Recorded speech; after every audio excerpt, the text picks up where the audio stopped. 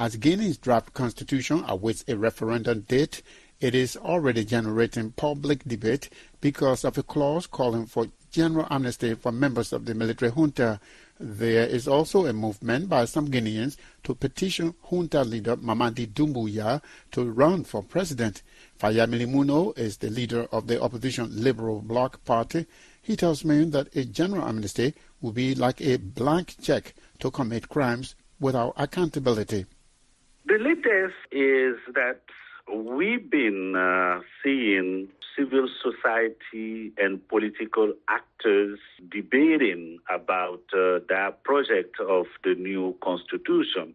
There are many things that people are asking to be changed, and uh, some other things that people are asking to be added to the new constitution. So the debate is going on. And uh, based on the plan that was presented to the people of Guinea since the beginning of the year 2024, we are expecting that referendum to be held this year of 24 by November or December. Is it true that uh, there's a concern that people think that the Constitution, as written, encourages or asks for amnesty for members of the military junta. Yeah, there is a, a provision in the new Constitution saying that uh, the amnesty law will be running and adopted during this uh, period of uh, the transition. So many people have been criticizing that because it's like uh, signing a blank check to authorities to kill whoever they want, and they're going to get uh, away from it.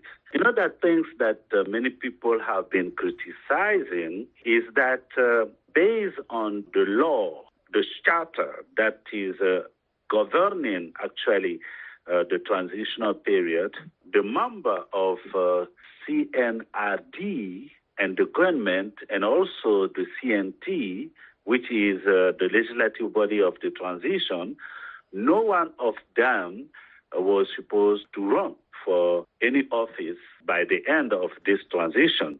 But based on what we have seen in the new constitution to be in writing, nobody is going to be prevented from running except those who will be under 35, like uh, for the presidency, and over 80 years old.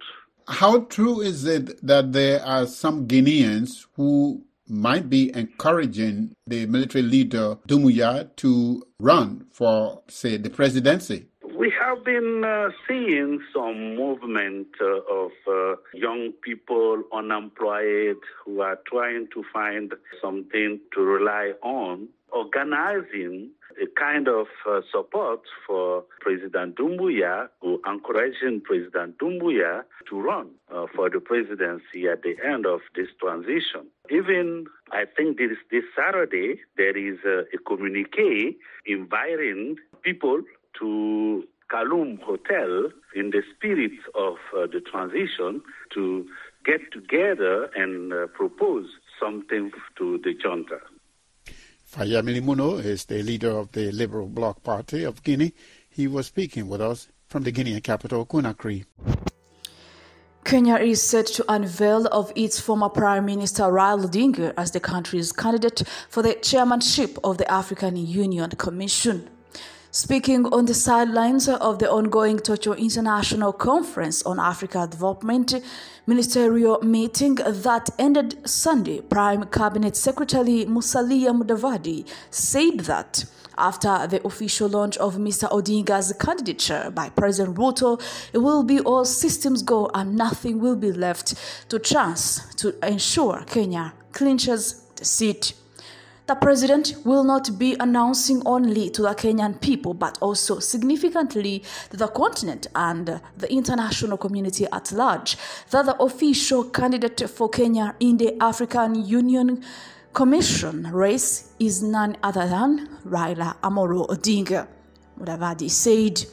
President Ruto has invited the East African community heads of state to grace his grand unveiling of Mr. Odinga. The Ministry of Foreign Affairs confirmed on Saturday that all the EAC heads of state had been invited to the event, which will mark the official launch of Mr. Odinga's campaigns ahead of the February 2025 elections.